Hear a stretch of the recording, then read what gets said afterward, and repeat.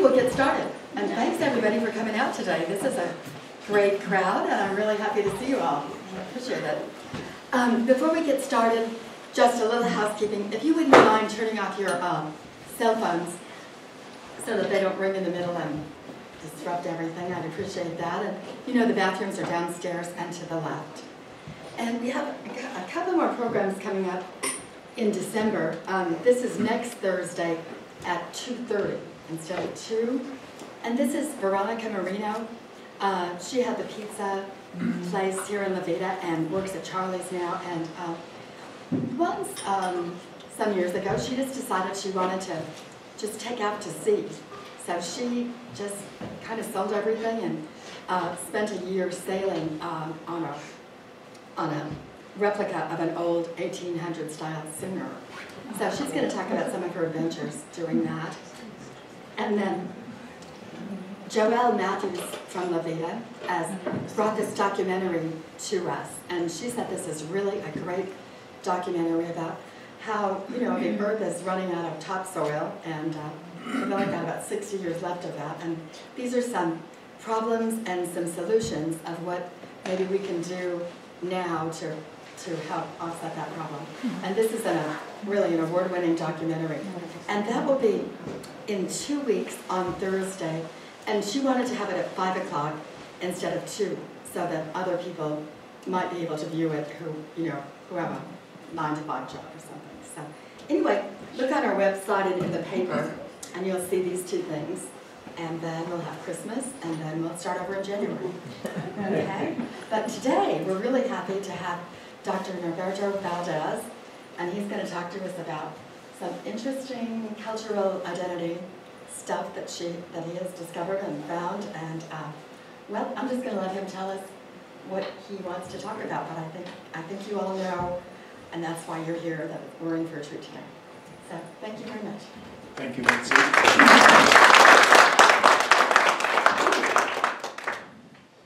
I want to thank the library for giving us the space um, to have these kinds of, um, should we call them performances? yeah, and uh, also to the Heritage Foundation, which I'm a board member. We organize a few things uh, here in La Veta and try to uh, uh, stimulate thought and discussion and maybe afford an opportunity for buying presents and things like that for your friends and family. So uh, thank you very much for, for coming. It's great to see people who are interested in history, and uh, particularly in this case, the history of native and so-called Hispano uh, uh, families. Um, the question, of course, that comes up in um, a discussion uh, such as this um, is where did it all come from? Why do we have what we have today? What, have, what are the implications of history? Um, so um, let me start out with just a personal note of how I got interested in this topic of Genízaro history and culture and identity. Uh, I am an anthropologist by training, and um, my training in anthropology has been uh, trying to understand the nature of small-scale, pre-capitalist kinds of societies. And more importantly, how they have changed over time, especially as they have been affected by capitalist market practices. So um, the academic part also comes in because I have had graduate students when I taught at CSU Fort Collins. Two of my graduate students uh, took as their topic, without my goading or anything, introduction, uh, the issue of Genízaro identity. Uh, one of them is from New Mexico, Leroy Saiz. He did his master's degree uh, on that topic. And the other person is David Young, who some of you have, may have met him if you have been to the ceremonies over here at Libre near Gardner in, the springtime. So um, uh, the academic part uh, is, of course, an important part of my life in which a lot of the bigger questions of life and social and cultural change around the world, that's where it all stems from. At the personal level, um, my wife and I, Jan, has um, been uh, doing a lot of research on genealogical questions, both in her family, and she has done a lot to help me understand my own family, because she's a lot more adept at doing this kind of research. And with the recent advances in DNA research, um, I've come to appreciate these new analyses of the genetic contributions that past generations have bequeathed on present ones. And so I've always held this idea of uh, Chicanismo, which is an identity related to Mexican Americans. It's a political aspect, focused basically on political aspects of, uh, of who Mexican Americans are. And um, so I've always had this curiosity about my own indigeneity, what my indigenous background is, because Chicanismo, and I taught Chicano studies at CSU along with Native American histories, um, uh, focuses upon the Indian background. Unlike uh, what some authors have referred to uh, regarding identity formation in New Mexico, especially northern New Mexico, but it's had its impacts here in southern Colorado, and that is the myth of Spanish uh, ancestry. Uh, there are many that come from that area, whose families come from the area of northern New Mexico, particularly the Rio Arriba County, uh, the region of the upper Rio Grande River. And uh, um, also their impact here in southern Colorado, as I said, has been profound. So even in my own family, when we talk about ancestry, ethnicity, family background, we uh, commonly hear, oh, those are my Spanish roots, or uh, mainly focusing on the Spanish.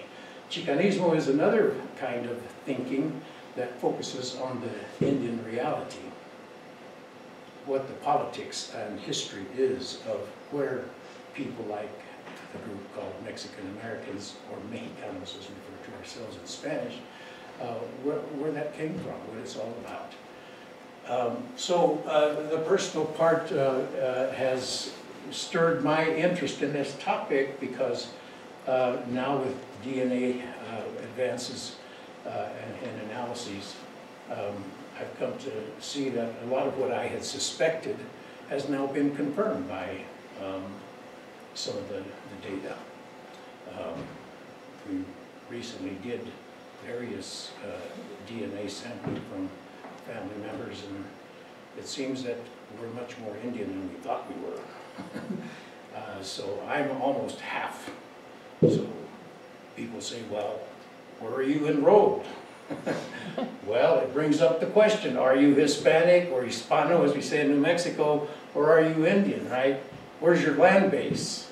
Well, the history of the Genízaro, as with the history of the Chicano people, uh, reveals that, why there is no land base, there hasn't been a land base, at least for some of us. Um, we acquired land through the colonial process and also through entrepreneurial activities such as my grandparents who were large landowners right here in this county uh, years ago. So um, it's a very personal thing for me, it's not just an academic thing. And the other thing is the political. Um, uh, I uh, am a veteran of the Vietnam War. Uh, I should say the U.S. wars against Vietnam, Laos, and Cambodia.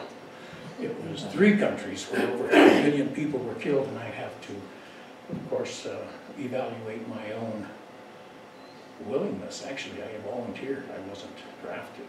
So uh, I'm interested combining some of my anthropological interests with uh, why, why the third world, why it gets nailed through imperialistic wars that uh, oftentimes are unjust wars. so it's led me down the path of activism, political activism, uh, in defense of indigenous peoples. And uh, now that I uh, understand a little bit more about my own family background, um, it's, it's hardened that, that commitment that I have in, in a political sense.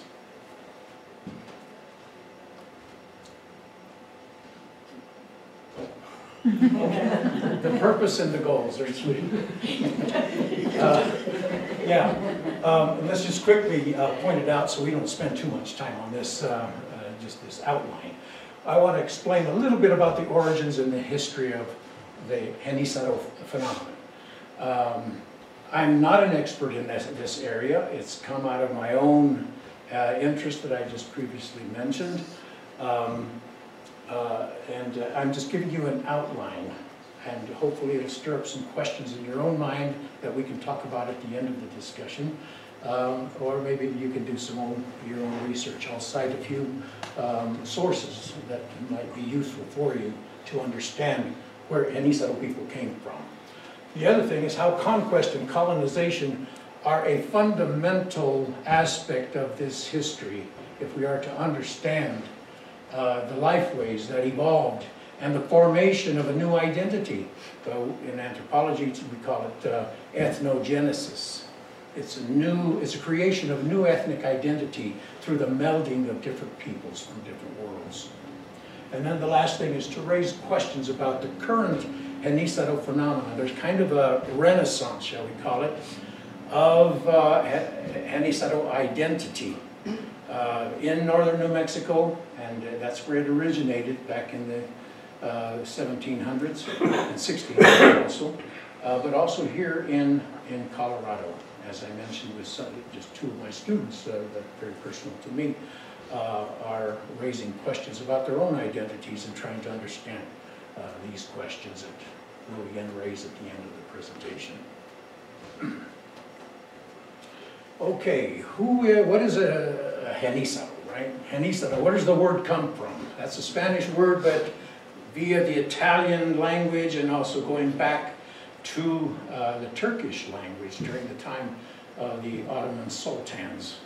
Uh, the, another word that's associated with uh, the word genisaro is janissary, J-A-N-I-S-S-A-R-Y, janissary.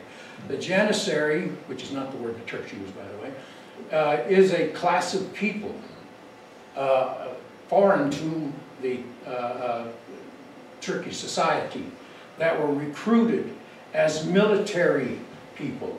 There was actually an entire, I don't know if we want to call it class or a caste of people, of men, who were recruited to be the military protectors of the Sultanate. So um, uh, these sometimes were eunuch, eunuchs, uh, castrated folks, so they could focus upon their, their military duties and not be distracted by other things. So, um, yeah, so uh, the Genisaro, that's where the, the concept came from. Um, and here in the Southwest, what it refers to is captured native people. Uh, during the time of, of the formation of this country, um, uh, there were different worlds that were converging in what is now the United States. The Spanish were not only here in the Southwest, they, were, they also came up through the Caribbean. La Florida, the state of Florida, was settled by the Spanish. The Spanish left their footprints all the way up to Maryland. There's a little town called St. Mary's up there, where that was formed by the, the Spanish during the early 1600s. So uh, their footprints were there as the uh, English began to enter into the area of Virginia and up into the northeast of the United, what is now the United States. the French were coming in through the northern part of the country. What were they mainly uh, doing? Well, was mainly engaging in trade and commerce. They had huge impacts here in combination with the Spanish who were coming up from the east and the south. And so horses came in through this direction and mainly guns came in from the other. That was a deadly combination for some, but it was also a very advantageous uh, aspect of early native uh, life as this part of the country, uh, part of the world was being settled. So uh, the raiding and trading began to take place as competition for resources became increasingly important. Now, this raiding and trading, as I'll mention in a moment, uh, is a global thing. It's not just a matter of uh, the Camino Real, which came from New Mex from uh, Mexico City up to this region, and it was not just a matter of the Santa Fe Trail, which came from Missouri to Santa Fe. So uh, it involved all of these different countries, like France and Spain and England, and uh, other the, uh, uh, markets that these other countries that were colonizing this region had. So it's a global thing. This is where I think anthropological knowledge about um, things global, global networks, trade, uh, and all of the consequences of that, the rise of capitalist markets uh, had a tremendous impact all over the world. And this is no exception. We often think of these little villages in northern New Mexico as isolated and never changing, but the dynamics is tremendous. And this is what resulted in this new phenomenon called the Genisaro. so as a direct result of the trading, raiding became so important because of these trade routes and the ties that native people had in the areas where they were losing access to their lands. The Comanche, for instance, were not part of the so-called horse culture of the plains. They originated in northern Utah as well as southern Wyoming. These are Shoshonean-speaking peoples uh, with a larger uh, uh, linguistic context of Uto-Aztecan languages. Uh, and uh, they were hunters and gatherers on foot. But when they got access to horses, they became what some historians have called the scourge of the plains. They became, their adaptational abilities were tremendous, and they became rulers of the plains from southern uh, Wyoming, the Dakotas, all the way down into Mexico, currently Mexico, Chihuahua, and part of Sonora. So uh, that, uh, those kinds of changes, cultural changes, access to horses and guns, uh, led to raiding of various kinds of communities.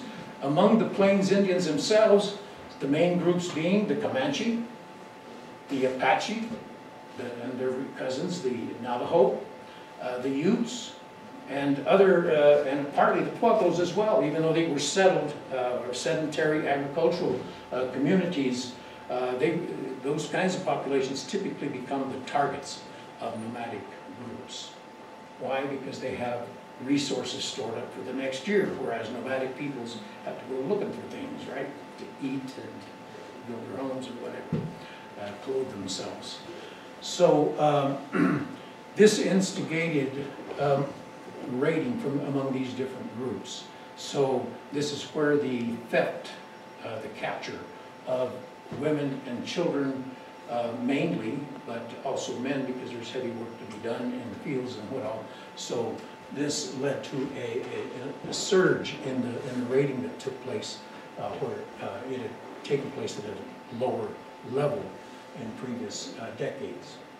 So uh, with the uh, trading, um, native people typically in the plains areas had the, what the French call rendezvous in the springtime. They would have these trade fairs where they would trade their goods and uh, um, there was a time for choosing wives as well and uh, husbands. So uh, a lot was happening then. Uh, they, uh, the need for labor uh, caused um, a tremendous amount of increase in that raiding and trading as communities began to grow in the region. So the Genisaro became and came as a result of the raiding uh, and that trading. Uh, it resulted in a uh, the, the capture of individuals from native tribes and traded into uh, institutions such as the Catholic missions, uh, domestic homes, uh, and field labor as needed. So they are enslaved and they're detribalized. They were taken out of the context of their homes and their families and forcibly sold into slavery. So a process of uh, detribalization took place. Uh, and of course, total domination of a slave typically had its psychological and mental impacts, as many of our uh, psychologists have uh, revealed uh, in their analysis of, uh, of enslavement. So colonization is a big part of that, and the Hispanicization, speaking of Spanish, and the conversion to uh, Catholicism, um, um, and other uh, practices that were part of the Hispanic communities that existed. Uh, a, an author by the name of Thomas Hall in his book called Social Change in the Southwest uh, refers to the dynamics of raiding and trading in this huge region that extended at times all the way up to, to California with the raiding of communities uh, from that region, as well as along the plains in New Mexico and as far north as uh, the Dakotas. But it was mainly focused in this region of New Mexico uh, and southern Colorado. Uh, so, as I said before, the um, need for labor, the expanding trade along these two major trade routes, as well as the increasing competition for resources. As resources were dwindling, uh, more and more competition uh, resulted as people needed to get into new lands uh, that were already inhabited.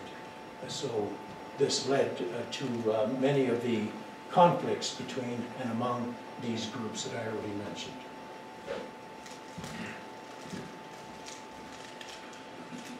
So uh, this whole process of um, of the uh, Spanish uh, colonizing the Southwest and needing to dominate for the benefit of the Spanish crown. They needed to encourage people to inhabit and colonize areas of the Southwest. And this was particularly difficult uh, when the centers of power were as far south as Mexico City, uh, 17, 1800 miles. And so um, there was a need to have uh, populations, local populations that knew something about the area in which they lived and helped to colonize the periphery. Uh, that, of course, was for the protection of the Spanish uh, against encroachments by other Europeans who were uh, entering into the area as well, the French and particularly uh, the English, who Spain had had previous wars with, did not trust them. So the other thing was they needed to form these communities in order to uh, purposely undermine the semi-feudal context in which the northern periphery of New Spain had been ensconced. So um, the feudal hacienda system was, as it was practiced in other parts of the Americas, fomented by the Spanish, was the creation of huge haciendas with labor under the encomienda system that would give free labor access with servile uh, labor uh, being used to make the haciendas grow. The semi-feudal character was that these haciendas were very internally uh, focused on the dynamic of the hacendado, who was the owner of the hacienda. Well, owner in, in parentheses because the Crown did not give uh, private property to hacienda owners. He gave them encomiendas. Encomienda is not a land grant. An encomienda is a, a grant of labor, free labor of, and control of the people who lived on the land that had been given in possession, not, not uh, uh, private property like fee simple, right, that we know so much about under capitalism.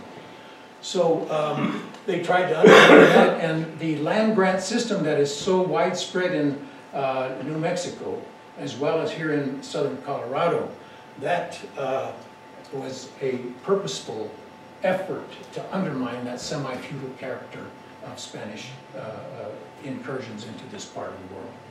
the last thing was that um, there are Catholic missions that were given tremendous power to colonize and to Christianize uh, Indian populations. so these communities became the means by which the Spanish and later the Mexican government would encourage the formation of communities on the frontier strategically so that they could protect the missions and the mission interests. But they would also protect some of the Hispano communities that were not uh, closely tied to the Indian communities.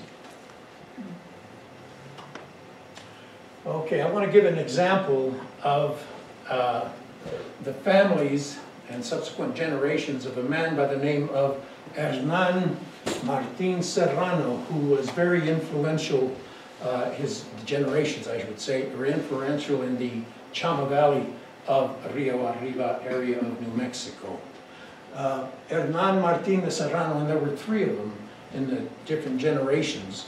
Uh, the original one was a, a, conquistador. He came with Juan de Oñate, who was the main Spanish colonizer that founded uh, the first colonizing effort of New Mexico, settling in the area of Santa Fe, New Mexico.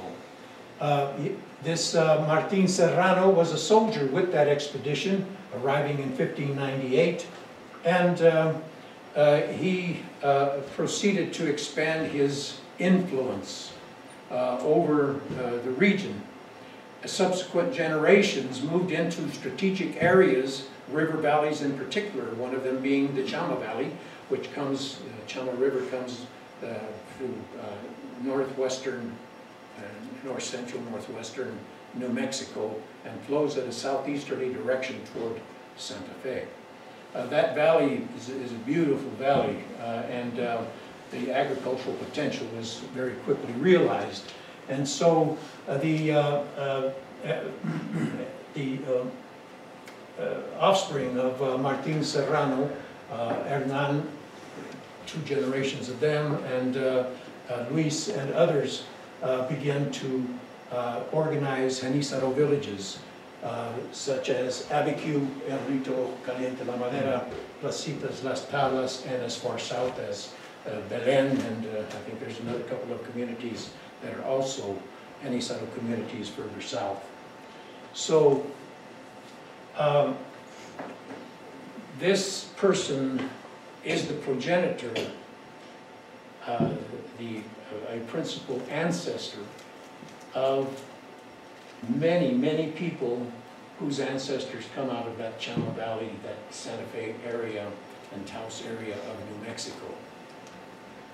Uh, this man and his uh, uh, offspring were the folks who organized a lot of these fairs that we love to go to uh, these days, uh, where you buy lots of arts and crafts, right, Sandy? Yeah. Yeah. yeah. So, as with the earlier rendezvous, these trade fairs were also for the purpose of uh, trading people. So people would be bought um, out of the captivity that they had just been experiencing and sold to the missions or to particular families, private families who could afford to buy them. So uh, sometimes people raise the question, well, they, were they slaves or not? Well, they weren't chattel slavery as blacks were in, in the South uh, because they could experience some degree of social mobility they actually became part of families at times and married into these uh, Hispano families that bought them out of, out of their captivity. So um, uh, Martin Serrano, because of that tremendous influence in the Rio Arriba area of northern New Mexico, um, actually became the, the originator of the name, last name Martinez. Martinez actually came from the name Martin. Uh, in Spanish, if you refer to uh, the families that are the Martinezes, well, they refer to them as Los Martinez, and that came to stick as the name. And now the the proliferation of Martinezes all over the Southwest and probably around the world. Uh, it's joked that Father Martinez was the, the father of a lot of Martinez's around the United States, but uh, they do go back to Hernan Martin Serrano in terms of genetic affiliation. Something like sixty percent of the people who claim uh, ascendancy uh, or descendancy uh, to the Chama Valley can trace their ancestors to this man. Sixty percent. About proliferation. Okay, now if these um, communities were being used as buffer zones in isolated areas where they would be subjected to almost constant attacks by nomadic tribes who were in search of captives to put into the trade markets, why would they go there? Well, remember that they had also been enslaved under the Spanish system, totally dominated, uh, removed of their capacity to own land.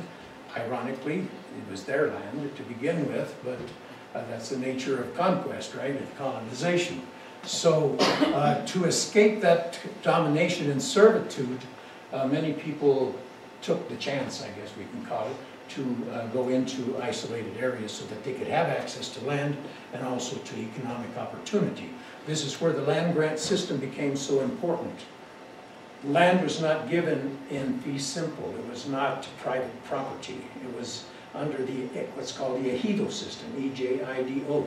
The ejido system is a communal form of property in which the uh, inhabitants of that property have access. They're given access through a, uh, through a, a system controlled by influential people who had originally petitioned for that land. 20 or more families were expected to uh, settle the land in return for access to that land. The land is communal land, so they could not sell it. It tied them to the land because if you, if they were to uh, not produce on that land for two years, it would, could be taken from them and reassigned to somebody else. So the ejido system is kind of like the old hacienda system, in a sense that it tied people to the land. Isn't that the uh, grand irony for native people? Tying people to the land. Now the issue of land and sovereignty is such an important aspect of native life everywhere.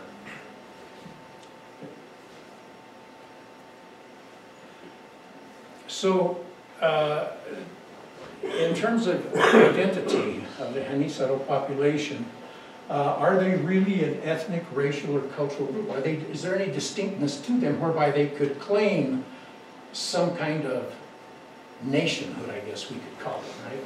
Nationhood is based on, upon culture and life experiences.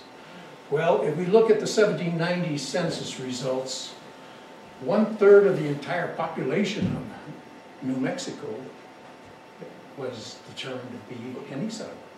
They are mestizos, a mixture of Spanish and native. Um, so it's a significant part of that population, of that region. Uh, very few New Mexico inhabitants could claim significant degrees of Spanish ancestry. This is important because to this very day, there's this ongoing myth, as uh, Rodolfo Acuna in his book Occupied America states, it's a myth of Spanish, it's the fantasy and myth of Spanish ancestry.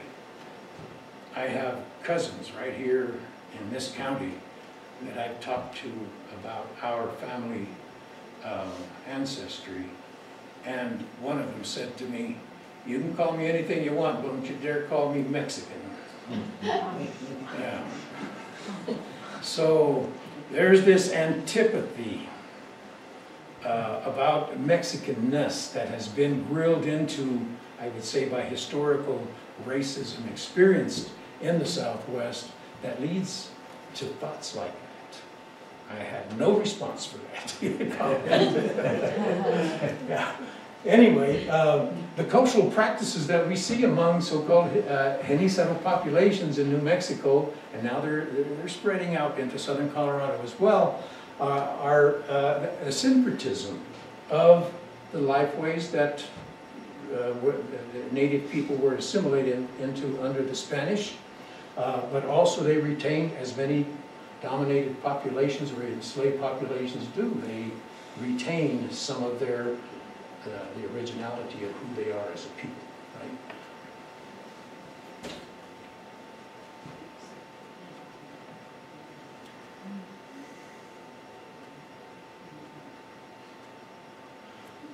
Back up one.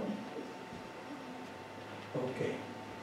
Now, there's a word that um, some of you may know or not know, manito. I see Anna Jo smiling, she knows what that means. Manito is a term that comes out of northern New Mexico, right from where my family comes from. Uh, manito comes as a, as a minute, uh, minimization of the word hermano. Hermano is brother, right? Uh, hermanito or manito, it comes from that word. Uh, manita, uh, there's a, Sarah Deutsch in her book on regional uh, identities in the Southwest talks about the regional characteristic of the populations that migrated out of northern New Mexico into other regions of, uh, of um, the Southwest. When I first went to live in Fort Collins, having gotten a job there, um, part of the barrio in the northern north side of Fort Collins is made up of manitos. And there's that identity, you know, you, as soon as you find out, probably just listening to an accent, like Safeways, or other uh, anglicisms or Spanish words that uh, are, uh, have a new twist on it because of linguistic change, uh, you recognize in each other and you, you have that sense that, well, these are my gente, these are my people, right? Word raza, that doesn't mean race, it means people, right? So, uh, yeah, this is um, uh, the nature of that regional identity that is symbolized in that word, manito. So manito villages are all those villages that you see mainly in the area of of Rio Arriba County today in New Mexico. What's important about all this uh, uh, is that there's the communal, communalism that characterizes these villages that are based on the ejido, but also on the uh, communalism of indigenous communities in which they were close, in close contact, but also from which they had originated, right? So um, uh, the land grants, of course, are the basis of the identity because of the lifeways that they led uh, in an isolated peripheral area of the Southwest. So the ejido had its different aspects. They had the, the vega, uh, which were the areas near where homes were built uh, with their garden plots, but also they had access, everybody had equal access to mountain regions where they could get firewood, uh, lumber for building their homes, uh, and uh, uh, whatever else was needed to carry out their daily uh, lives. Uh, communal institutions, uh, we see this very commonly among uh, native populations. Um, communal labor, uh, mutual aid societies, the penitente religion, all of these institutions reflect some of that communalism that was so much a part of native lifeways uh, in the Southwest and elsewhere. Mutual aid societies uh, are the essence of survival by a depressed or suppressed population, working class folk, rural populations that had little access to the resources of the state that ruled over them. The Liga Protectoras were an important part of the daily survival of the Genízaro populations.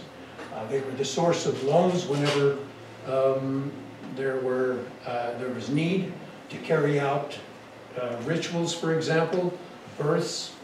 It always costs money to get a priest to baptize a baby, uh, or the death rituals, um, burials, and what all for church services, uh, health issues that had to be taken care of.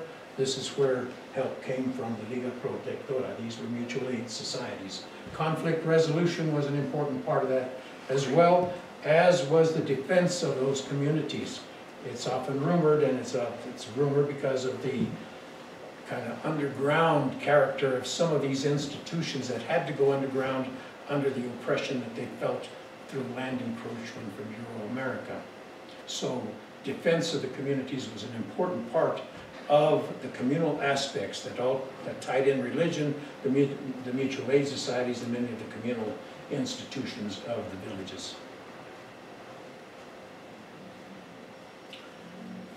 Of course, the uh, religion was a very, very important part of the uh, lifeways of, uh, of the uh, villages and villagers on, on a daily basis.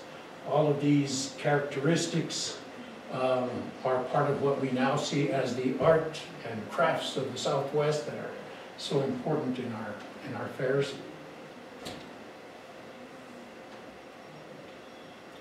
The moradas are, are reflective of the positioning, geographical positioning of uh, the moradas, the churches under the penitente religion are reflective of the oppression that uh, these Genízaro populations experience. The Roman Church condemned the uh, folk li- life and folk ways of the penitente uh, practitioners and uh, forced them underground. They were forbidden to carry out these, mainly because Indians were declared by early decrees of the Roman Catholic Church going back to the 1400s that uh, Indians were um, to be Christianized. Uh, Their humanity was even questioned. If you look at the debates between Bartolomé de las Casas and Sepúlveda during the 1500s, uh, arguing thi- this way and that way whether Indian people were actually people. And uh, this was, these debates ended up being the justification for enslavement, theft of lands, and all of that that went along with colonialism.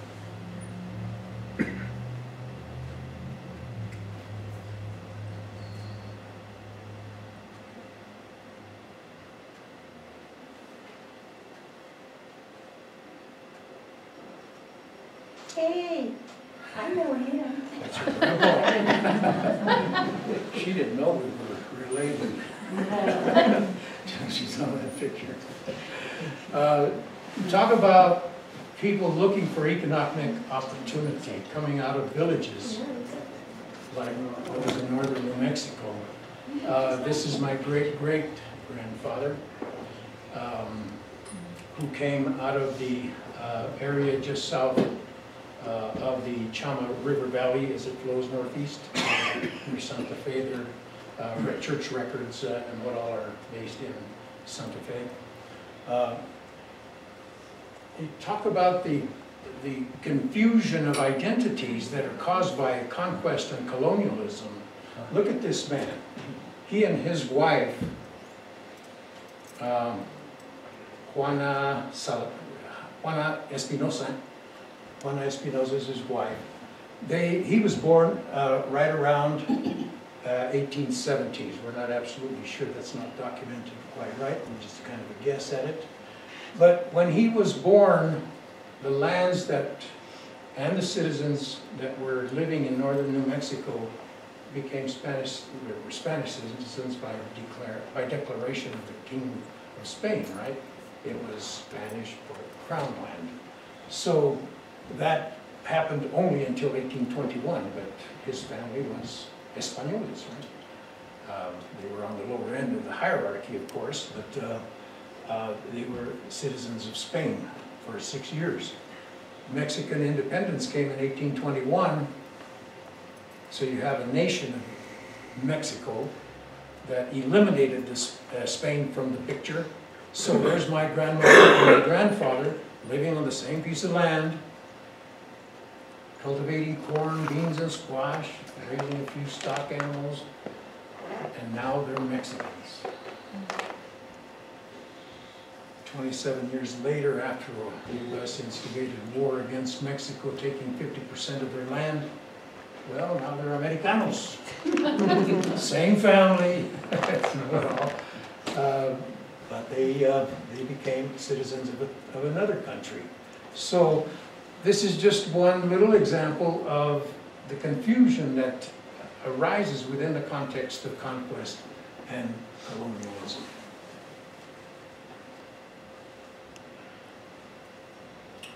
Um, the lifeways that I just uh, talked about were, was based on family labor.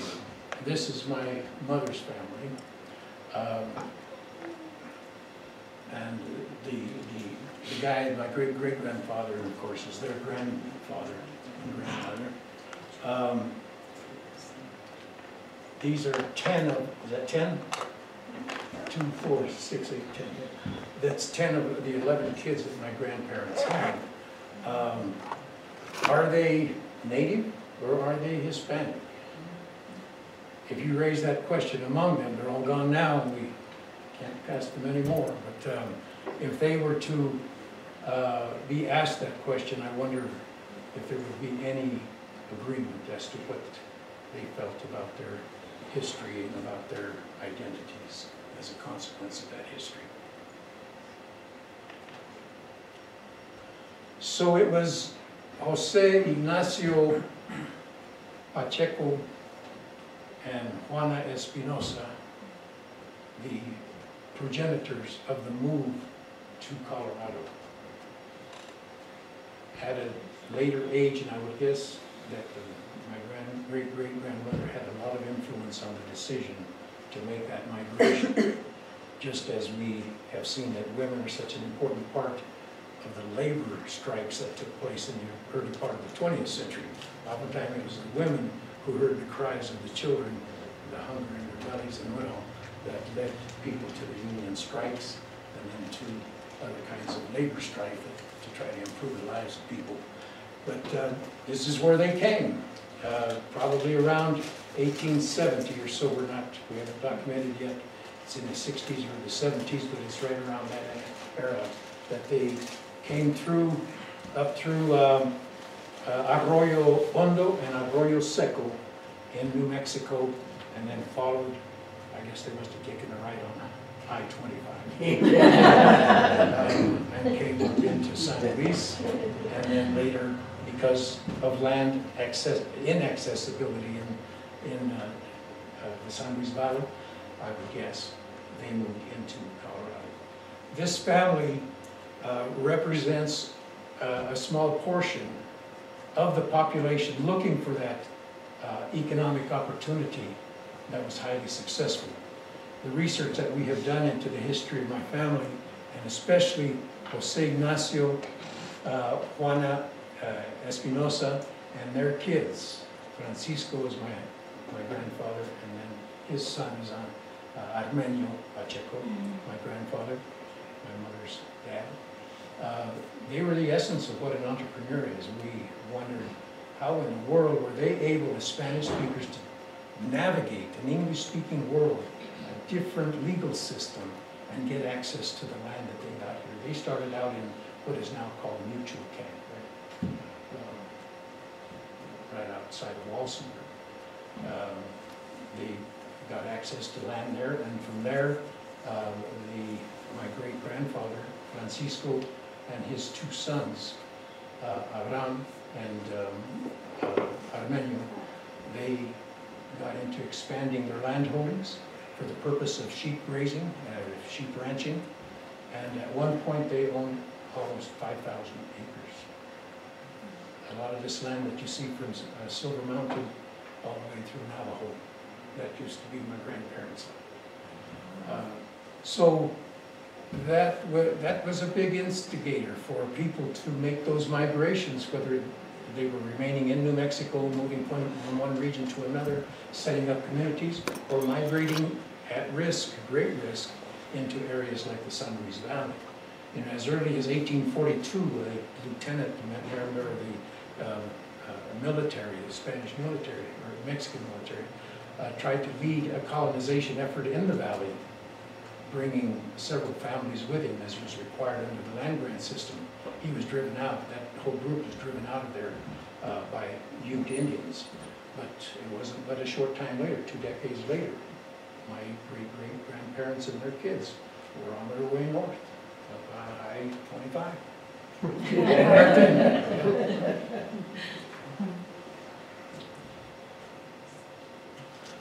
There's my great-grandfather and his wife, Ignacita Duran.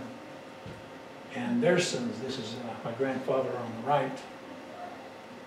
He's, he was killed on the mountain up there, Silver Mountain, in nineteen forty-four by lightning strike.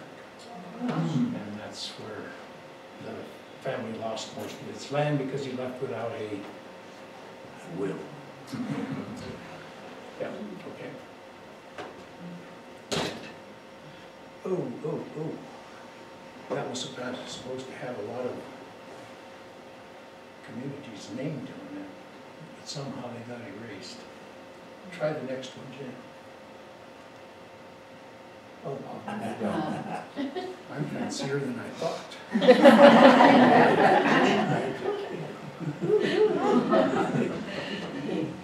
Yeah, I think there's one more, yeah. This is the early 20th century, and I put this in to show where the Genízaro population existed along with their Native American brothers and sisters uh, in the whole hierarchy of the Southwest.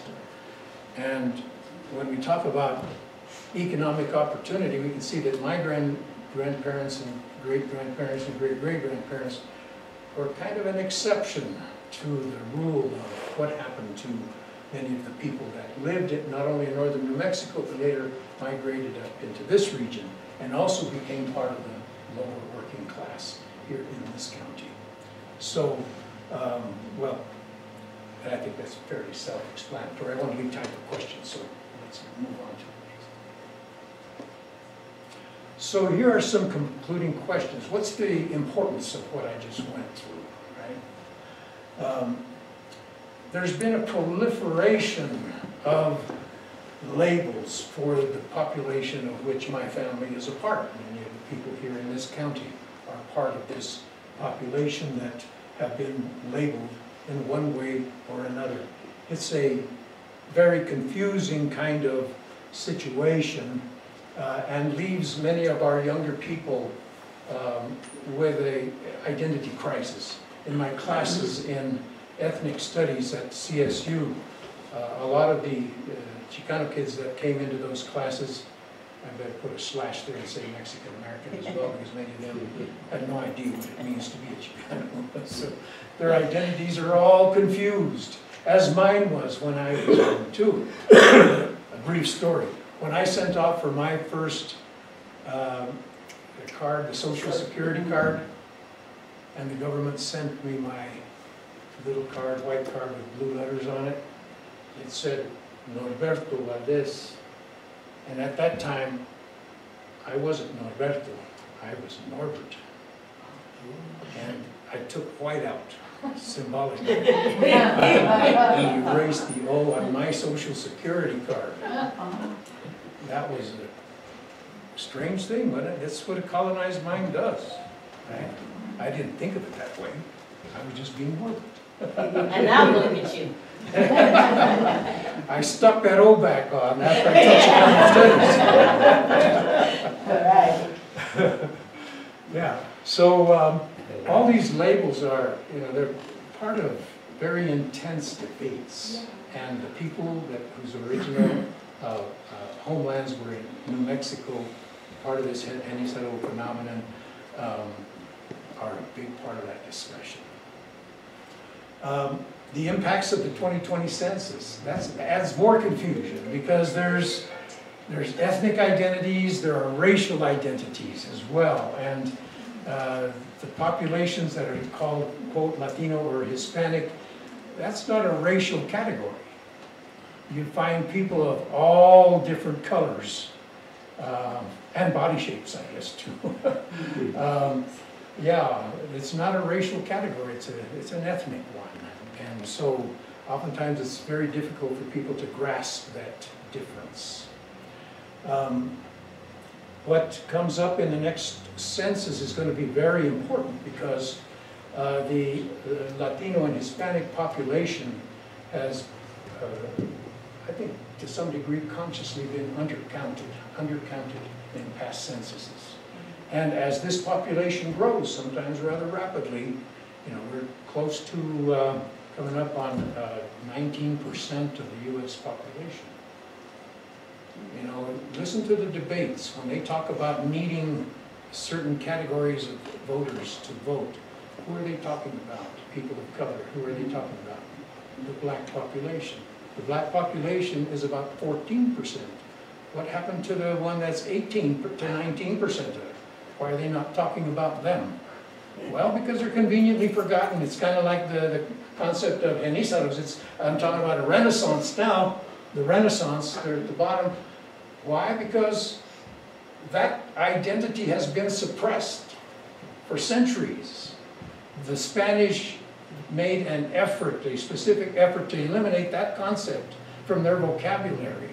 They wanted to pretend that they were not, they had not created a class system, a caste system, a virtual caste system, in which native people and Isaros, their sisters and brothers, were at the bottom of the social hierarchy. They were the useful manual labor for the missions and for the uh, wealthy people, the ricos of New Mexico and elsewhere.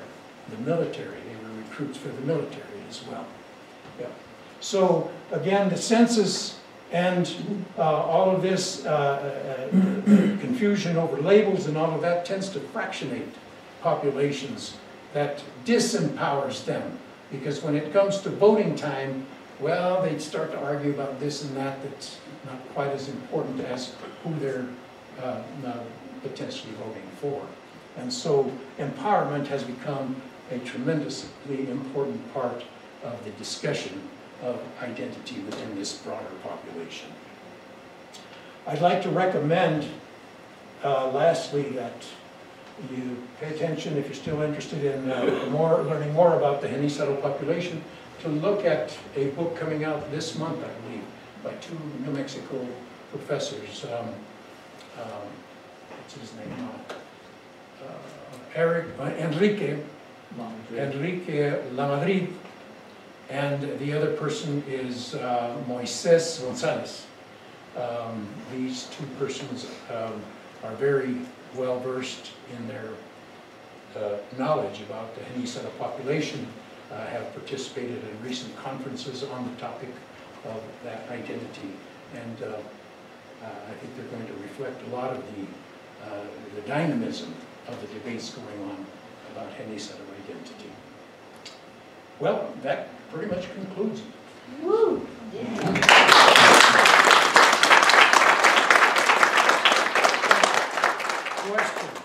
Yes.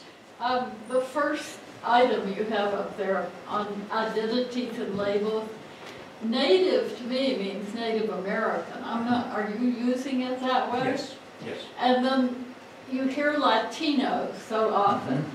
So how would you group, how would you define Latino in that realm? Okay, yes. Uh, Immigration makes this a a complex question. Because would you include recent arrivals from Latin American countries such as Honduras or Salvador or uh, Nicaragua uh, when they come to the United States? Would you include them? Are they part of uh, a Latino ide- identity that has been long resident in this country?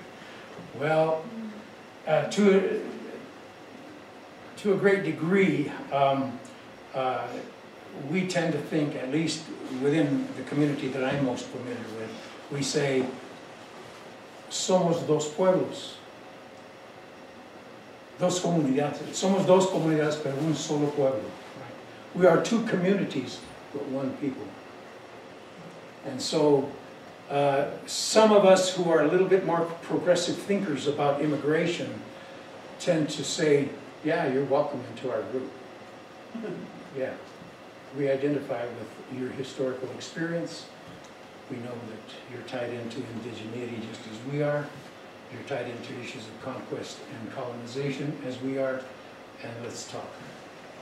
So the Latino concept, the label, is very similar to the Hispanic one, except that the Latino part is, comes from the Spanish language, right? The Hispanic thing is kind of rejected, I don't use it myself. Um, uh, It reflects more concentration on Spanish ancestry, which I have already defined, at least among some people, as a myth. there's not much connection to Spain left. Yes, Tom? Could you elaborate a little more on, um, what is chicanismo? Okay, yes. Chicanismo is a concept that came out of the struggles of people of Mexican ancestry in the United States uh, going back to around the 1920s, uh, leading up to the great uh, um, expulsion of Mexican populations. Almost a million people of Mexican ancestry got thrown out of the country. Many of them were citizens, like some of my own ancestors from uh, from New Mexico may have been part of it. Most of them were in Arizona or in California. But Chicanismo is a political or a politicized uh, uh, identity, a label that refers to people of Mexican ancestry, uh, as one person said recently, that has not been anglicized. So it's a person that has some pride in their origins. The other thing is, is that they reject that notion of emphasis, a need for emphasis on the Spanish ancestry of this particular group. They identify more with the Indian part. So the term Chicano is very, as I see it, is very closely related to the term Genízaro, which recognizes fully the Indian ancestry. Because I just recognized it as, you know, Jorge Gonzalez and Yes. Denver and that whole movement in Mhm. the seventies. Yes, yes. Uh, These, this term, of course, precedes these leaders from the 1960s and 70s and 80s. Um, And it was a statement of self-empowerment. It was a statement of self-identity. Uh, Many uh, of this population of Mexican ancestry uh, were heavily denigrated and oppressed in the Southwest. And they wanted to emerge from these. If we look at uh, legal cases like the Sleepy Lagoon case in California. Uh, There are lots of legal cases that uh, this population uh, brought going back to the 30s and 40s on behalf of Chicano children, people, kids of Mexican descent, that um, were a direct result of the directed attempt to keep kids from being educated properly in schools. They put them in the worst conditions in the schools if they had schools. Um, And during this, the uh, pre-civil rights days, uh, in the 50s and 60s, the kids of Mexican descent were classified in the schools as white in order to avoid uh, integration. So they would say, if you put kids of Mexican descent with black kids, well, there's integration and you conveniently got Anglo-American kids, right? So it was a clever move, you know, my own birth certificate says I'm white. Well, that's a debatable thing in terms of identity, right? Uh, But, um, yeah, your, your question is a good one, because it, uh, it is a term that is not, it was popularized during the, the sixties and seventies because of the civil rights movement, but it was not widely accepted, actually. And the activism, of course, was a big part of it, with Jose Angel Gutierrez in Texas leading the uh, La Raza Unida party, the political party. He ran for president. Uh, That's part of the lost history of this, of this population. Uh, That Mexican-American population has often been portrayed as a sleeping giant. We hear that today in the newspapers, as if there's no activism going on. All they have to do is look at uh, politics in California, where a significant part of of the population, the voting population is Mexican American, and they are dynamic there. It's just that there are other places, like where my family comes from, that's not so dyna- dynamic, but there are still strong currents of political activism there, as well as you see here in, in, um, in Colorado. Yes? I have a question. Have you, um, ever looked at the works or ever met, um, uh, Professor Devon Pena down in the valley? Sure, we tried to hire him. Really? We're from With- Seattle. The Acequia Institute? Yes, down yes. there? Yeah. Yeah, he, uh, he was important to me. I, I voted for him to hire him. Yeah, because he's, um, he's very, uh, uh, knowledgeable about the acequia system. Yes. He wrote a book about the lifeways based upon the communal institutions that I pointed out here. The Acequia system, he's a landowner there Oh, in I- San Luis. yes. Do you know him personally? I do, Uh-huh. yeah, I've been on his property, both properties. Yeah, yeah. It's so special to me, Mhm. and Yes, yes. Have you met uh, Maria Valdez? I'm not And- sure. And her ex, who's a professor at New Mexico. I don't believe so, Yeah. but Shirley Romero down in the Yes, valley went. yes. I went with all of them to um, Denver for the land grant. Yeah, the Um, hearings? Yes, yes. Excellent. Yes, very good. Appreciate your interest in that. Yes, please. I have a question and a comment. Um, My first question is, what is the relationship between language and identity and labels? When you're Yes. talking about Yeah, well, language, of course, is the, the bearer of culture. When one loses the language, you're interpreting the world around you through somebody else's screen, right? There's a filter there that tends to affect your way of seeing things and defining them. So it's important, it's important. And um, uh, when it pertains to labels, say, the Chicano population, with its heavy emphasis upon Indianness, has kind of the contradictory position of also emphasizing the language of the colonizer, right, Spanish. So that's part of the confusion uh, and the complexity, the nuances, right, of, of language, culture, and life experience, yeah. And uh, the second thing, thank you for that. Um, I just want to point out, um, I lived in Virginia for many years And Oh, I'm sorry. Hundred years ago, in relationship to identity and culture, hundred years ago in Virginia, uh, an individual in the Vital Statistics Bureau decided that there could only be two types of people, white or black. And if you were Native American, you didn't exist. I know that because my husband was part Cherokee. And uh, so there were no schools for Native American children, there was no identity for that. And in that area of Virginia where we live, which was central Virginia, the tribes were not, the tribe, the Monacan tribe, was not recognized until 1986. So there was this huge history of suppression uh, for Native Americans Mhm. there as well. Yes, yes. That's- Okay, yes. Arthur? Do your people have the same problem that we had as a result of the activism of the seventies? Yeah, a result of what? Second. Activism.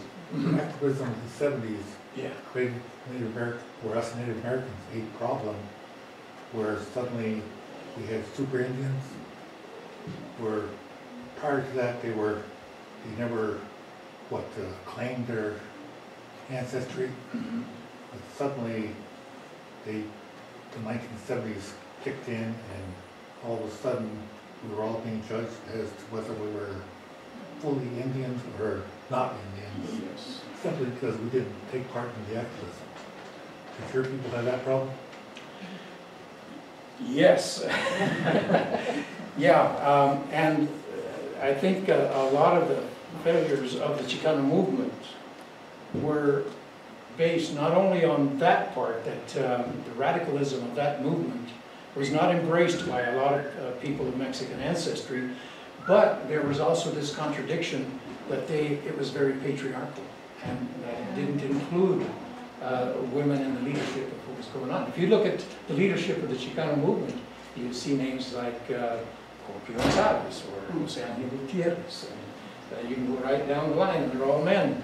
And, and, and these were with the, uh, with the uh, uh, uh, behaviors, masculine behaviors that, that are part of uh, the discussion about the Me Too movement and all of that. Right? So, yeah, the divisions there are uh, very much so. And, and from what I understand at Pine Ridge, you've got uh, the, the, the divisions between those that are more developmental, development orient, economic development oriented, and those are the the so-called full bloods, right? There's, that's the major division. Did you want to address that part Oh, the other thing I want to know is that on Pine Ridge, we had the traditionals, then we had what we call the Iyeskas, then we had those who were, what, uh, more dominant culture oriented. But the Iyeskas always had a problem because they were neither accepted by the Indians nor by the uh, Caucasians. Mhm. So you had this middle class of people, and they tended to either go believe that they were totally Indian, or they were totally Caucasian or some other race. And basically, they were the ones that caused most of the problems between the groups, because they were either, they were taking sides, Mhm. and then demanding the people that they took sides with to go against the others. Yes. So, because you had that problem. Early on in New Mexico, it became a major problem, especially as it came to economic class. Because the wealthy of New Mexico, the wealthy elite, are the folks who, uh, in the view of, uh, from a Chicano viewpoint, they're the ones that sold out their own people by, in, they seen, they saw the writing on the wall. The, the writing on the wall was about conquest leading up to the 1846 war with the United States. And many of them uh, found uh, ways, especially through marriage, to uh, to uh, curry to their own favor, to their- their own benefit. Um, People like the, um, let's see, what's the name of them? uh, The family that Kit Carson married into. I can't remember their Beth, name. What is it? it was the Beth family, wasn't it? Um, no. Oh, Hispanic Josephina. wife or native wife? Yeah. yeah. It was an Hispano elite family. Yeah, just- Espinoza? No, no. Jos- Josephina, Josephine. Yes, that's her first Yeah. name. Yeah, anyway, uh, the, the wealthy elite, the men would oftentimes seek to marry their daughters off to uh, outsiders who they, it was kind of a convenient economic marriage. And um, it resulted in uh, them uh, being able to, at least for a time, maintain access to their wealth, their properties and all. Uh, So um, they were definitely looking outward. Um, I didn't, I don't know if I, I'd have to look a little further into the history to, to see whether or not they fell on one side under one issue and fell on another side uh, on another issue. Uh, But um, I imagine that happened also, I would guess. Yeah, tabling the uh, details and specifics of your presentation, would you say that this story has repeated itself worldwide? Yes. Yeah, I think without doubt. Yeah. This is where I think uh, my anthropological training, uh, uh, I've learned a lot about what uh, happens when um, there are issues of colonialism, direct or indirect political uh, domination of a population at uh, an ethnic group level as well as at a national level uh, the use of politics, the taking of land and resources, um, the forced migration of populations, enslavement, all of that, that comes into play in various parts of the world. yes. Can you think of examples to the contrary? Where there has been equality and fairness? Well, all we have to do is bring up the gender issue and that strikes that one down. Uh, Oh, I have to think hard. Okay. I doubt if I'd come up with something that that could serve as a model world. Yeah, are you, do you have something in mind? No, no, I was curious. You'd be in trouble. I think. Yes, sir. Um, You know, a lot of, I know a lot of people that claim to be, have Indian blood, and you look at them and you go like, you know, like, sort of a, like Elizabeth Warren. Uh, And, you know, I, I re, I also, I took the uh, 23andMe uh, um, genetic study, and and I'm from northern New Mexico, and I thought Apache uh, background, and I thought for sure I was fifty percent plus Native American, I was only twenty-six, I was really disappointed. Yeah. And, uh, But I was just, that got me to thinking about, are there, are there criteria out there or, or, uh, um, uh, about how much Indian blood you have to have to receive certain benefits, let's say, whether it be hunting, fishing rights or college scholarships? Is there anything out there at all about like that? There is no consistency on that. It's very arbitrary, just like racial categories are very arbitrary, based on nothing. Skin color is only skin deep. And uh, look at what it's done to world affairs. Everything from unjust wars to enslavement, uh, theft of lands and what on.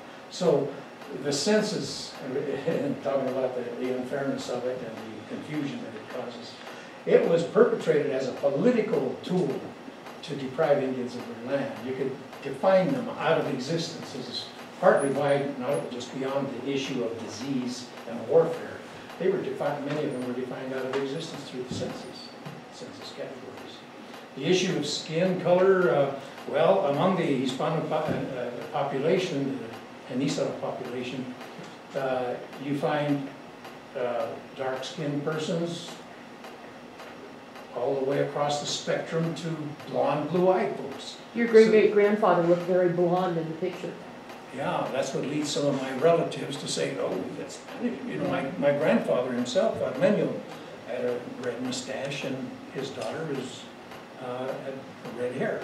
And so characteristics like that, which are very super, uh, superficial when it comes to a scientific analysis of skin color, hair texture, lip shape, and all of those kind of characteristics that are typically part of the package that supposedly gets transferred between and among individuals within a race.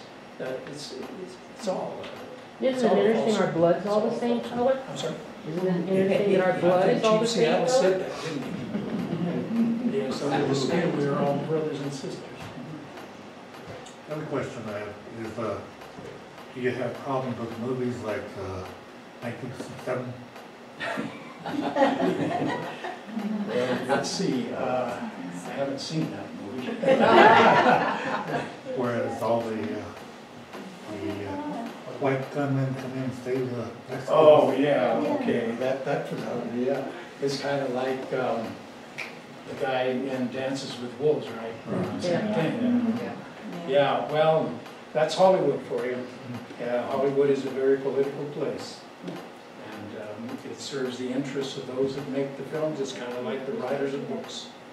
Those that write them uh, oftentimes are not from the subaltern group, as they're called, uh, the other, right? Yeah. Yes, sir.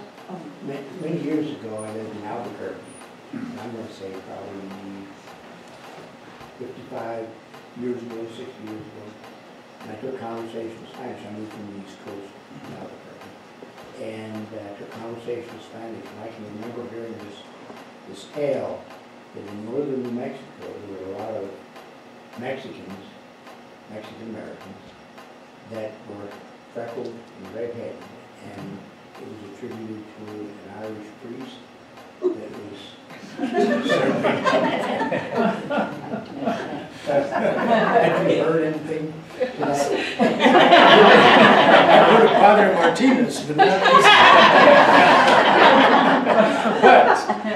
But there's an aspect of New Mexico history that is connected to the Irish. Yes, I know.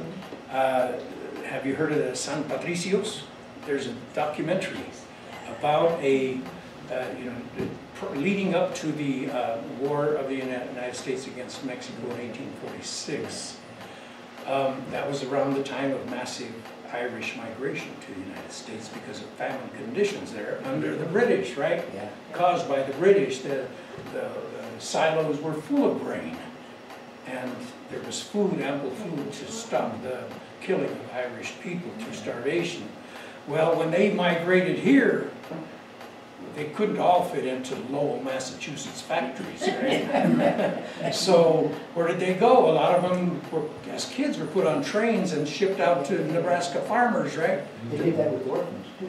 Yes, exactly. Yeah, so there's a lot of craziness that went on there. Why? Because at that time, Irish were defined as black. They were not white.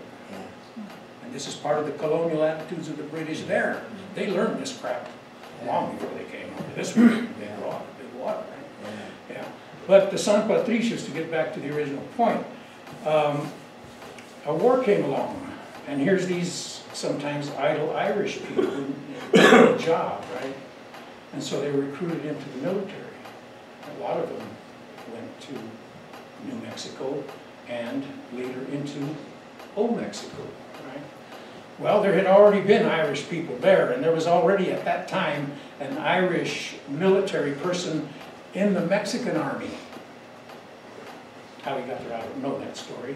But he began to send little messages through his spies into the uh, American forces, telling them, what are you doing fighting for those gu- guys uh, of British ancestry that are the story behind why you're here in this part of the world? You're fighting against Catholics when Protestants did things to you over there, uh, and they're right there in your, your army, your, your fellow soldiers. Don't you come over on our side where there's Catholics and there's people fighting against your oppressor across the big water? And three hundred and some left the military and went on the other side. A whole bunch of them, yeah. Now, they lost the war, right, on that side of the border.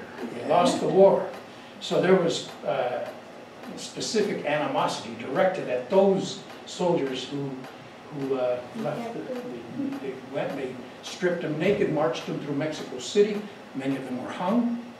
Uh, Some of them were tattooed. This is not a German, only a German thing. They were tattooed and other kinds of atrocities were committed against them. Uh, They have a- an annual get-together. Emissaries are sent from Mexico to Ireland. Next year, Ireland sends its emissaries to Mexico to celebrate that, that commonality, that historical event. Yes, sir. Yeah. Oh, just uh, related to the question where I thought the question was going. But um, the, uh, one thing about nor- northern New Mexico, you often hear, uh, oh, I began here when I was hired at the University of New Mexico, that the, uh, the dialect of Spanish that was spoken had lots of archaic expressions in it, you know.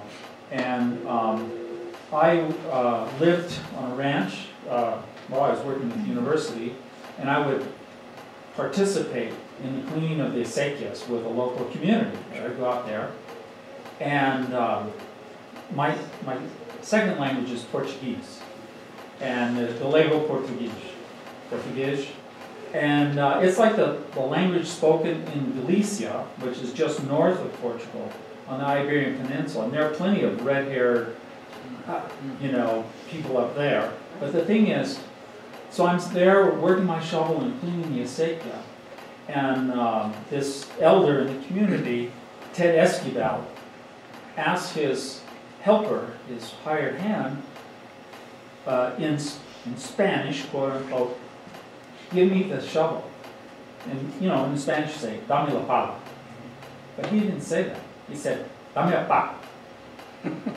I mean, that's Gallego He must or be Puerto Portuguese. No, no, it's Portuguese, it's Portuguese. Dame la pa. Or Gallego, you know. So, I- and there are a lot of archaic, you know, if I look at the old writings, uh, like some of the Anza, the writings during the Anza period in New Mexico and, and uh, people there before him, there are a lot of archaic expressions in the Spanish. Yeah, and that uh, is partly why um, many people in New Mexico and here on this side of the border claim that there's a direct connection in their trees to, to the Spanish, because there are these cultural characteristics, such as language, that they share. You know, my, you know, my own family counted money in reales. Un real is Yeah. what, 12 and a half cents? Dos reales is a quarter. Cuatro reales is a buck, right? It's a peso. Yeah. It wasn't dollar, it's a peso. That's all Spanish stuff. So that's just one little example of the ar- archaic uh, aspects of of the Spanish language that are still preserved today. And so it, it gives kind of um, an impetus, I guess, to people who want to claim that Spanish ancestry to, to continue with that kind of thing. Okay, anyone else? Yes, Sandy. If you guys are interested in this, and obviously you are, because I think there's about thirty-five of you here, we've got a wealth of stuff and people that we could bring to do more of this. So let us know what you're interested in. You know, and the whole Huajatolla Heritage Foundation thing is cultural equity. Is that ever gonna occur? Probably not, but we can work towards it. And this is part of this cultural equity project or, or belief or vision or goal, whatever, Don Quixote. You know, so let Arthur or me or Norberto or any of us, and if you're interested in being part of our heritage, or Anna Joe, my AJ, you know, any of us that are involved in this really want to see this grow and, and continue these kinds of conversations. And we're putting on our traditions, health, health fair, that's my last lifetime. Art. Uh, craft, art and craft fair this weekend at the Mercantile. You know, I'm all about folk art, and that's, that's my greatest love with all this, but I'm just fascinated. And I think we can put on some really interesting programs, maybe bring some documentaries in, but let us know what you want. Yeah. Thank there's a- you for bringing that to the community. Yeah, your uh, point about what the goals of this uh, uh, Huajatolla Heritage Foundation is, is directly tied to what one aspect of this presentation is about, and that is revealing a suppressed history. So uh, the history of Huerfano County isn't that well known widely, I'd say for those of us that like to read books and, um, and um, shoot the bull with uh, people in the library. Um, Well, well, we, we might learn a little bit more about it, but oftentimes the, the history, for example, that of Genízaros, uh, is, is a, a hidden history that Genízaro people themselves know that they've lived it in wide open spaces. But it's either suppressed, ignored, or just forgotten. And this is the essence of these different kinds of uh, studies that we uh, find in university campuses, like ethnic studies or Chicano studies, Indian studies, that point us to bring up uh, issues of these different populations whose histories have been suppressed over time. I thought, of Pam, yeah, hi. And that's why we wrote as Huerfano County, the orphan county. We were often forgotten in many aspects of our Yes, lives. yes, yes, yes. Yeah, it's as if we don't count, right? Yeah. And that includes all of us, so we should all be concerned about the suppression of history. Yes, please. Really, when you brought up the whole DNA thing, and I have, I mean, as much as I really wish the DNA test was the silver bullet to identify my origin, isn't it only as good as how much has been collected? Um, as far as I've heard of a person, many people, sending it into different companies and getting different results from all the companies.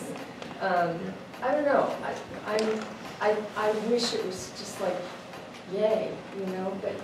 No, you're right, you get different results from different companies, the certain populations are grossly underrepresented in those databases, so take it a big grain of salt, they're getting better, but, um, I don't take them very seriously yet. And are you gonna do us another program on that? Please, oh, please. Oh, please. But she's a molecular geneticist, so she knows this. Oh, there you go. Yes, well, that's a good point. You know, we, we've gone, gotten into this a little bit. Um, She knows a lot more about it than I do. But there are different levels of analysis that you can do from the same company. Uh, Doing deeper and more widespread analyses of the material that are bequeathed to us from our ancestors. Yeah, which comes in importantly, uh, at least from what we have found in that it sure demonstrates how the randomness of genetic uh, transference of, um, or transmission of uh, genetic material is. Uh, The redness in somebody's hair, for instance, could have gone back several generations and all of a sudden it shows up. Or some other characteristic, like, um, the, uh, say, within the same household, uh, an African, say, two or three percent of an African constitution may be evident in one of the siblings, but not in another, within the same family. It speaks to that issue of the randomness of that transfer, right? Yes. Uh, I- Based on what you just said, I, um, some years ago, when I returned to Colorado after living all over the world, I got a gig in San Luis with the Acequia Association, and I was... Does everybody know what the acequia is? Acequia, it- it's a, it's an Arabic word, actually, that refers to the ditches, irrigation ditches, that were a reflection of old world agricultural practices as well as the extensive agricultural and irrigation systems of the Southwest. and very important to the settlement of this Yes. entire area. And San Luis is the only existing ac- acequia left in the United States. So, but anyway, my, what came to mind when she was explaining that, uh, was that, so I, I got all the acequia people together, and I set the room up in a circle. And and I'm from Colorado, and I've got blondes and blue-eyed people throughout both of my, you know, both my parents. And I'm standing there, and every single Acequia member, every one of them, blue or green eyes. I was the only one with brown eyes. Oh, yeah. So that was something, you know, an enlightenment for me. So, I mean, we're all related, you know, somehow, because And we still have some good connections with San Luis and the Acequia people, but we could do, I wanted to do a program, and um, Grim Eugene Hawkes up here, who's, I think, the president of the association down there, and is willing to come yeah. and do a program on the Acequias. If you guys are Oh, interested, I'll- it's, it's, it's fascinating. I, um, well, what, what we did with the project that I was working on is we created a video explaining the, uh, the history of the Acequias. Yeah, And- There's a book called Acequia Culture, if you're interested. Yeah. Yeah. I, uh, I think I, sh- I, I, well, do you have that? I mean, I. not the video, The video? Oh, I thought that was in one of the ones I, no, I just have the books, I have your mom's oh, okay, well, I do have the Acequia, uh, video if you want it, as a result of that. But that to me, and here I am, a native Coloradoan, and I'm just looking around and I'm not questioning it, I was just fascinated. I mean, it was all, you know, and then, uh, as I say, my own family, my daughter's blue-eyed and my son's got the darkest, you know, brown, black eyes ever, so who knows? Anyone else? Yes, sir. Uh, Yeah, I noticed on the uh, screen there is the Martinez family and the ha- hacienda concept of of grouping people or in those types of settlements. Have you ever been to the Martinez hacienda south of Taos? No, I haven't. No. Is that uh, Rancho de Taos? No, Taos. Taos. Taos itself? Uh-huh. No. South of Taos. No, I haven't been there. We, we were there several years ago, and uh, there was a few old ladies in there on old looms weaving. Yeah. And uh, we took time and spoke with, with one of them, who was a direct descendant of the Martinez family. Yeah, It's, it's, it's interesting that the looms, years ago, I told my wife a loom, but it was a manufactured loom. And uh, these were parts of trees, some still had bark on them, and then just yeah. Yeah, yeah. You know, we bet, we could even organize a little field trip down to San Luis. Eugene would welcome us. That would be nice. And how many of you are interested in it? going on a tour like that. Sure, look, there you go. There's your audience. Well, what we did, not only the SAK Association, but at the turn of the century, we had a, a huge TV right on the SAK. Hmm. And we brought in the year two thousand. And that was so much fun, so much fun. Well, thank you so much. Thank, thank you. you.